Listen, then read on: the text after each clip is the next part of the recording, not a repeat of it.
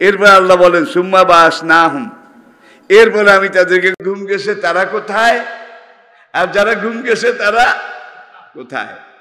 এটা যেন মানুষ বুঝতে আরে বাদশাহ দাকিয়ানুস কত আগে মরি টরি খাডে সই জাহার নামে চলে গেছে। যে দাকিয়ানুস এই সাতজন যুবকের ইসলামী আন্দোলনের বিরোধিতা করেছে। ইসলামের দাওয়া কাজের বিরোধিতা করেছে।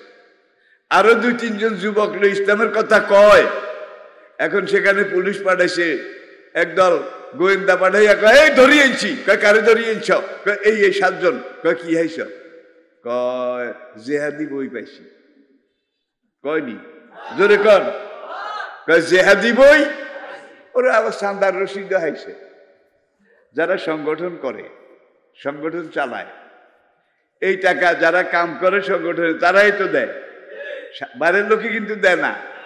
তাদেরকে বলা হয় না, বলা যায়ও না। আর যারা ইসলামের কাজ করে, ইসলামী আন্দোলন করে, একদিকে শ্রম দেয় এনার্জি দেয়, আরেকদিকে পয়সাও দেয়। নিজেরা পয়সা দিয়ে ইসলামী আন্দোলন করে। কিন্তু গায়ের ইসলামী আন্দোলন যদি করেন, পয়সা দেওয়া লাগে না, পয়সা পাওয়া যায়। বিরিয়ানির প্যাকেট পাওয়া যায়। সেখানে মিটিংয়ে গেলে খাম খাম। খাম বুঝছেননি টাকার খাম পাওয়া যায়। গাড়ি ভাড়াও যা বেতন দেওয়ান লাগে। নাকি লাগে না? কিন্তু গায়ের ইসলামী। ইসলাম ছাড়া অন্য দুনিয়াবি যে কোনো দল করেন। আপনার গাড়ি, আপনার বাড়ির দরজাতে আইব ঠিক নেই এর গাড়ি ভাড়া দেওয়ান লাগতো না। এর ওই মিটিংয়ে যাইবেন, সেখানে জিন্দাবাদ, মুর্দাবাদ, আল্লাহ যা লোয় তা কইবেন। কইটই যখন বাড়ির দিকে আইবেন, বিরিয়ানির প্যাকেট আর খাম। কি? এগুলা বোধহয় পাওয়া যায় না। আর আপনি আহারে আল্লাহ দিনের একজন দায়ী। আপনি আন্ডি আন্ডি গেছেন। আন্ডি আন্ডি বাড়িতে আইসেন অথবা নিজের জ্যাবের পয়সা দিয়ে গেছেন জ্যাবের পয়সা দিয়ে বাড়িতে আসছেন। কেউ কিছু দিছে? তাইলে শয়তানের পক্ষে যদি আপনি কাজ করেন, তাইলে পাওয়া যায়। আল্লাহর পক্ষে কাজ করলে পাওয়া যায় না, বরং দিতে দিতে যাওয়া লাগে। ঠিক কিনা বলেন? আমি কি বুঝাইতে পারছি? এই মা বলে যে আসছেন ভাড়া তো নিজেরা দিছেন, অন্তত আন্টি কষ্ট করেই আইসেন ঠিক নেই? এখানে এখন যাওয়ার সময় শেষ মোনাজাত যেদিন হবে, আপনাদেরকে বিরিয়ানির প্যাকেট দেওয়া হবে। প্রত্যেককে খাম দেওয়া হবে বোধ খাম দেওয়া হবে। এগুলো আল্লাহর কাছে আমরা বিক্রি করেছি। আল্লাহ আমাদেরকে যা দেওয়ার দিবেন, এই ইমান আছে বলেই আমরা এসেছি। ঠিক কিনা বলেন? আর আল্লাহর কাছে যাদের অ্যাকাউন্ট নাই আল্লাহর কাছে যাদের অ্যাকাউন্ট নাই, তারা কিন্তু নগদ না পাইলে আইয়ে না, নগদ না খাইলে আঁটে না। কিন্তু আল্লাহ করে গেছে জান্নাত দেবে, এটা বাকি। বাকি, আমরা আল্লাহর কথা বিশ্বাস করেছি, নবীর কথা বিশ্বাস করেছি, এই জন্যে খাই না খাই পথে আগায় যাচ্ছি। আপনারা কি আগায় যাইতে রাজি আছেন? রাজি আছেন? আল্লাহর কসম, আমার হায়াতের কসম। এই জীবন খাইলেও শেষ হবে না খাইলে জীবন বসে থাকবে আপনাকে নিয়ে। খেলেও শেষ হবে, না খেলেও শেষ হবে। ভালো খেলেও কেটে যাবে, খারাপ খেলেও কেটে যাবে, সুখে থাকলেও কেটে যাবে, দুঃখে থাকলেও অতিল কালা ইয়ামনুদা বেলুহা বাইনার নাস।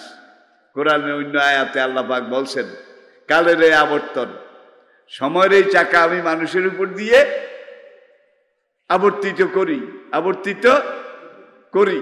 নদীর স্রোতের মতো। সময় এগিয়ে চলে আর আপনার জীবনটার দিকে তাকান। আজকে আপনি শিশু। কালকে আপনি বালক। পরশু আপনি যুবক। তারপরের দিন আপনি প্রৌঢ়। তারপরের দিন আপনি বুড়া। তারপরের দিন আপনি নাই। কি? এটাই তো জীবন। এটাই তো বাস্তব। আল্লাহর পথে চললেও জীবন চলে যাবে, আর তাগুতের পথে চললে জীবন বোধহয় চলে যাবে না। আল্লাহর পথে চললেও আপনাকে মরতে হবে, তাগুতের পথে চললে বোধহয় মরা লাগবে না। ভাই, তবে আল্লাহর পথে যদি চলেন, আল্লাহর দিন যদি মানেন, আল্লাহর কথা বলতে বলতে আপনি যদি মরেন, মালিকুল মত আসবে। নাকি? আলিমের কাছে আসবে জালিমের কাছে তো আসবে না। মালিক মন্ত্রকে সালাম দিটি করো হান্দাইস। কোনো বেয়াদবি করিস না। দেখছেন নি? আলেমের যান কবজ করতে আইলে, এই সালাম দিটি হান্দাইস। এ দূরে সুরে ধরিস না। যার বন্ধা দেখলে ভয় পায়। তুই একজন মানুষের সুরতে যা। আল্লাহ একবার তুই একজন মানুষের সুরতে যা। যাই, খুব আস্তে আলগোছে। এমনভাবে আমার এই নেকবান্দার রুডা কবজ করি আনবি। সাক্ষা সাক্ষাতুল মত দূরের কথা, সে যেন টেরো না পায়। ইমানদারের যান ঠিক এইভাবে কবজ করা হবে। ইন্নাল্লাজিনা কালু রাব্বুন আল্লাহ সুম্মাস্তা কামু যারা বলেছে, আমাদের রব আল্লাহ, আমাদের সব আল্লাহ। এটার উপরে কায়েম ছিল। তাতানাজ্জালু আলাইহিমুল মালায়েকা। তাদের কাছে যখন মৃত্যুর ফেরেস্তা মালিকুল মৌত আসে যান কবজ করার জন্যে, তখন একদল ফেরিস্তা মালিকুল মৌতের সাথে এসে বলে, আল্লাহ তাকাফু ওরা আল্লাহ, বন্দা ডরাইও না। ওলা তাহা জানু কোনো চিন্তা করিও না। তোমার রুটা বের হওয়ার আগে আল্লাহ আমাদেরকে অ্যাডভান্স পাঠাইছে। ফেরেস্তাদেরকে অ্যাডভান্স পাঠাইছে। এবং আল্লাহ কইছে, নাহনু আউলিয়া হুকুম ফিল হায়াতি দুনিয়া অফিল দুনিয়াতে তুমি। আল্লাহর বন্দা হিসাবে আল্লাহর পথে ছিলা। আল্লাহর কাজ করেছিলা, আল্লাহ খুশি হয়ে গেছে। তোমার পরকালে কোনো চিন্তা নাই। এরপরে মালিকুল মৌতকে বলবে, আমার বন্দার রুটা এমনভাবে কবচ করবে যেন একটুও ব্যথা না পায়। উ করা না লাগে। মা তার বাচ্চাটা এইভাবে বুকের সাথে কোলে নিয়ে দুধের স্তনটা যখন বাচ্চার মুখের মধ্যে ঢুকাইয়া দেয়, বাচ্চাটা চুক চুক চুক চুক করে চষে। বাচ্চা যখন চষে, তখন মায়ের বুকে একটা স্নেহের সমুদ্র উদ্বেলিত হয়। মা এইভাবে বাচ্চাটাকে আরও ভালো করে ধরে। খবরদার আজরাইল, ঠিক মায়ের কোলের বাচ্চার মতো আদমের সাথে আসানির সাথে আমার এই নামাজি বান্দার রুটা কবজ কর।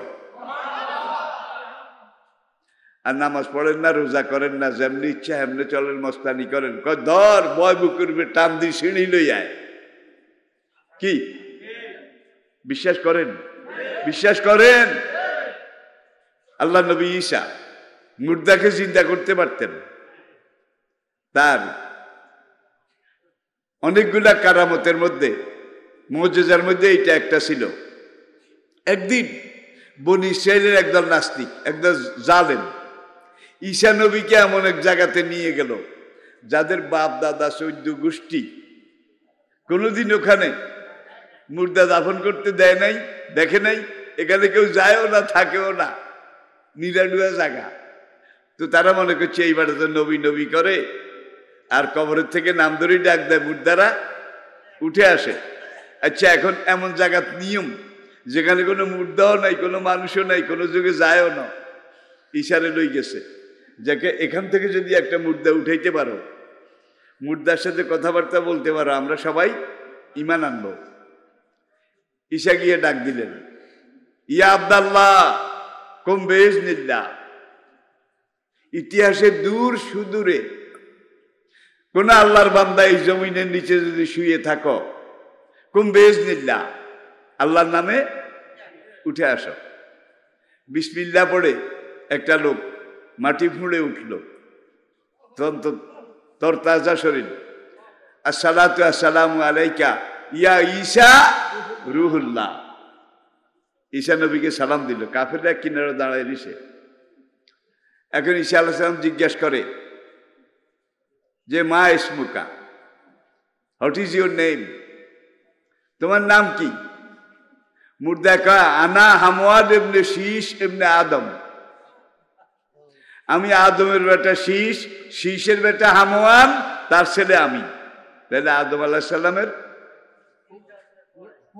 পুতি পুতি থার্ড জেনারেশন থার্ড জেনারেশন কবরে কি অবস্থায় আস কোথায় আদম আল্লাহ সাল্লাম কোথায় ঈশা আল্লাহ সাল্লাম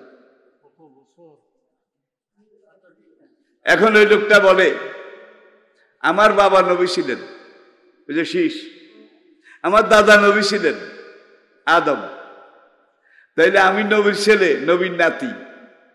আমার বাপ এবং দাদা যেই তাহিদ রেসালত এটা প্রচার করেছেন, আমি সেটা মেনেছি। সেটা মেনে ইমান এনে মমিন হিসাবে দুনিয়াতে ছিলাম। এরপর আমার হায়াত শেষ হয়েছে, আমি এই জমিনের নিচে দাফন হয়ে গেছি। কয় কবরে কি অবস্থায় আসাও কোনো অসুবিধা নাই। আমার কবরের চারিদিকে বেহেস্টের সাথে দুয়ার খোলা আছে। আমার কবরের চারিদিকে জান্নাতের সাথে দুয়ার খোলা আছে। প্রত্যেক দিন আল্লাহর হুকুম মতো বেহেস্ট থেকে বেহেস্ট দিকে যা খানা নেয়ামত আমার কবরে আসে। রুহানি ভাবে কবরে শুয়ে শুয়ে আমি বেহেস্টের নিয়ামত খাই। কোনো কষ্ট টষ্ট নাই তো? না কোনো কবর যাও নাই কোনো কষ্টও নাই তবে একটা ব্যথা। যেই ব্যথাটা হাজার হাজার বছর চলে গেছে কিন্তু অন আমি অনেক কষ্ট পাই অন কষ্ট পাই কোন ব্যথা। আমার বিশাল মেয়াদ যেদিন শেষ হয়ে গিয়েছিল, হায়াত যেদিন শেষ হয়ে গিয়েছিল, সেই দিন যখন আল্লাহর নির্দেশে মালকল মত আজরাইল আমার রু কবচ করার জন্যে আমার সামনে এসে আমার বুকের উপরে বসেছিল, আমার রুটাকে নিয়ে এসে যেই টানাটানি করেছিল, আমার রুটা প্রত্যেকটা পশমের গোড়া থেকে ছিঁড়ে ছিঁড়ে আনার জন্যে আজরাইল যেই টানাটানি করেছিল, আমার শরীরটাকে যেইভাবে একাকার, মেশাকার, দলিত, মথিত করেছিল পরিশেষে রুটা বের করে সে নিয়ে গেছে, কিন্তু সেই সাকরাতুল মৌতের ব্যথা হাজার হাজার বছর চলে গেছে, এখনও কবরে আমি কষ্ট পাচ্ছি। অজা আজ সাকরাতুল মৌতে বিল হাক্কে জালিকা মা কোনতা মিনহু তাহিদ ভাই, বেনামাজি তো ইয়ান্তনে শুরু। আর ইমানদার যদি হয়, আল্লাহ কাইয়া ইয়া তুহার নফসুল মুতমাইন্না এর যে এলা রব্বিকে রাদিয়াতাম হদখুলি ফি এবাদি হদখুলি কে আজরাইল আস্তে করল মা তার বাচ্চারে যেইভাবে দুধ দেওয়ার জন্য কোলে নিয়ে আদর করে, সেইভাবে করল আর এমন ভাবে রুটা কবজ কর, যাতে আমার বন্ধা একটু টেরো না পায়। এরপরে কবরে যখন দেওয়া হবে, কবরে মাটির চাপ আসেনিও। জোরে কর। রেখে যখন চলে আসবে আত্মীয় স্বজন, চলে আসার সঙ্গে সঙ্গে চল্লিশ কদম পার হবে, চল্লিশ কদম। দূরে আসার পরে মাটি একটা চাপ দেবে। এমন জোরে চাপ দেবে, ডান কিনারের হাড়, বাম কিনারে চলে যাবে। বুকের হাড় পিঠে চলে যাবে, পিঠের হাড় মাটির চাপ। এমন প্রেশার দেবে। আর আপনি নামাজি, রোজাদার, ইমানদার। সাহেবে কোরআন, আপনারও মাটিয়ে চাপ দিব। এটা মাপ নাই। সবাইরে দিছে। তো মা বাচ্চাকে বুকে নিয়ে কোলে করে, বাচ্চা যখন মুস্কি মুস্কি হাসে, মা বুকের লগে লইয়া এইভাবে আস্তে আস্তে চাপে। আল্লাহ! ইমানদার নামাজ ইমানদারে বাড়ি ওইভাবে চাপ দেবে। ওইভাবে চাপ দেবে। এখন এই মাটির চাপ আমাদের সামনে বোধ হয় নাই। সাকরাতুল মত বোধ নাই। মৃত্যু যন্ত্রণা বোধ নাই। কোরআন মানলেও জীবন যাবে। কোরআন বাদ দিয়ে মাস্তানি করলে জীবন আপনাকে নিয়ে বসে থাকবে। তাহলে, অলাশ্রী ইন্নাল ইনসান আল আফি খোস আমরা সবাই বরফের দোকানদার। দুনিয়াতে আইসক্রিমের ব্যবসা করার জন্য এসেছি আইসক্রিমের ব্যবসা। আইসক্রিম চিনেন? এটা একটা টাইম আছে। একটা লাইভ আছে লাইভ চব্বিশ ঘণ্টা। চব্বিশ ঘণ্টা। এই চব্বিশ ঘণ্টার মধ্যে আপনি যদি এইটা বেচতে পারেন, বাজারজাত করতে পারেন, তাইলে আপনার পুঁজিও আসবে, সঙ্গে লাভও। আর যদি আপনি চব্বিশ ঘণ্টার মধ্যে এটাকে কাজে লাগাইতে না পারেন, আইসক্রিম আপনার জন্য বসে থাকবে। জোরে কর। তাহলে আইসক্রিম কিন্তু শেষ হচ্ছে। গোলে গোলে, কারও বারো আনি শেষ, কারও সাড়ে পনেরো আনি শেষ। ঠিক কিনা বলেন? কিন্তু কার কদ্দু শেষ হয়েছে এটা জানার উপায় আল্লাহ কোনো বান্দাকে দেননি, কিন্তু আইসক্রিম গলে যাচ্ছে। সময় আসবে আইসক্রিমের নাম গন্ধ সব শেষ হয়ে যাবে। তা শুন ইনশাল্লাহ এখান থেকে আমরা আগামীকাল ইনশাল্লাহ। আজকে অনেক কথা, প্রাসঙ্গিক অনেক কথা বলেছি। এটা এই জন্য বলেছি, কোরআন তো এই জন্যই এসেছে। কোরআনকে জীবনের সাথে মিলাও। কি? কোরআনকে সমাজের সাথে মিলাও। কোরআনকে অবস্থার সাথে মিলাও। ঠিক কিনা বলেন? এটার নামে আসলে তাফসির। এটার নামে আসলে তাফসির। ইনশাল্লাহ আগামীকালকে এখান থেকে আমরা সামনের দিকে সুরায় কাহাবের বাকি আলোচনা যুবকেরা জাগবে। ঘুম থেকে উঠবে। আজকে আমরা আলোচনা করেছি, তারা যখন পাহাড়ে ঢুকলো, শুইল, আল্লাহ তাদের চোখে ঘুম। গুহার মধ্যে তাদের চোখে ঘুম এনে দিল। আত্মায়তের কায়দায় বসুন। এক মিনিট মোনাজাত, এক মিনিট। এটা আদব। আল কোরআন হুজ্জাতুল্লাকা আও আলাইকা। আরেকটা হাদিস। নবীজি এরশাদ করেছেন হাসরের কঠিন ময়দানে। যেদিন আল্লাহর রহমত ছাড়া কোনো আশা থাকবে না। আল্লাহর আরসের ছায়া ছাড়া কোনো ছায়া থাকবে না। আল কোরআন হুজ্জাতুল্লাকা আও আলাইকা। সে হাসরের কঠিন ময়দানে এই কোরআন হয় তোমার পক্ষের উকিল হবে, নয় তোমার বিপক্ষের উকিল হবে। কোরআন যাদের পক্ষের উকিল হবে, কোরআন তাদেরকে তার নূরের পাখার ভিতরে করে অ্যাডভান্স সেনাপ পার করায় বেশতে পৌঁছায় দেবে। তাহলে কোরআনের পক্ষে থাকতে রাজি আসেন জোরে কর। তাইলে আমরা কোরআনের পক্ষে আসি, কোরআনের সঙ্গে আসি। আল্লাহ কবর হাসল পুলসেরাত মিজানে কোরআনকে আমাদের সঙ্গী বানাইয়া দিও। কোরআনকে আমাদের হুজ্জত। হুজ্জত। নবী বলেছেন, আল কোরআন হুজ্জাতুল্লাকা আও আলাইকা। হাসরের কঠিন দিনে আমার খুনডাঙ্গা দাঁত ভাঙ্গা মাথার খুলি ভাঙ্গা এই কোরআন। কারও পক্ষের উকিল হবে কারও বিপক্ষের উকিল হবে। অকাল রাসুল ইয়া রব্বে ইন্না কৌমিক তাকাজু হাজাল কোরআনা মাহাজুরা। কি রে ভাই হাবের সাহেব একজনও নাইনি হাজাল কোরআনা মাহাজুরা। কোরআন বলবে উত্তর বদরপুর যারা তাদের জমানায় আমি কোরআনের সাথে আসিল। তাদের জমানায়।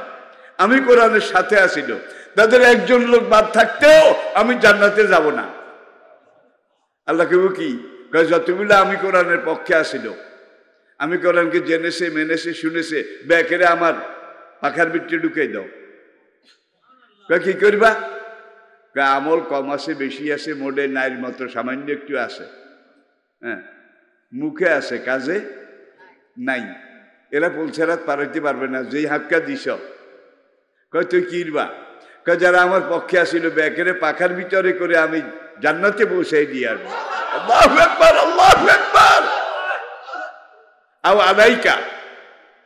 অকাল রাসুল, ইয়া খাজু হাজাল কোরআনা মাহাজুরা। আমার কোরআন গেছে, আমার কোরআন ছিল।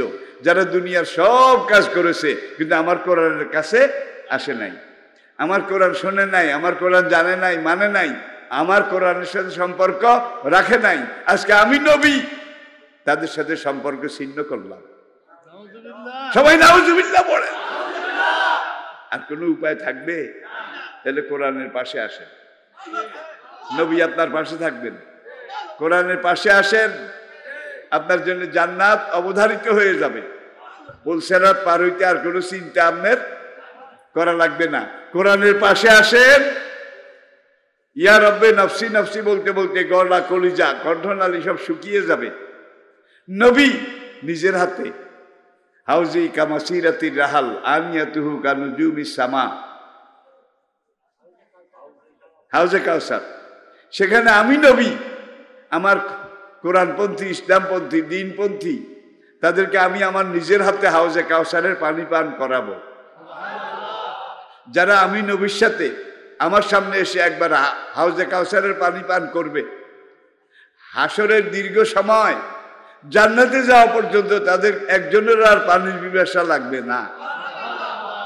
আল্লাহ, এই মাহফিলের উশিলায় আর কিছু পাই না পাই। হাসনের কঠিন সংকটময় সময় সন্ধিক্ষণে নবীজির পবিত্র হাতে আমাদের সবাইকে আবে কাউসারের পেয়ালা নসিব করে দিও আল্লাহ আমিন اللهم ارحمنا بالقرآن العظيم اللهم اجعل لنا توفيقا تلاوته من آناء الليل والنهار يا رب العالمين বিরাহমাতিকা ইয়া আরহামার রাহিমিন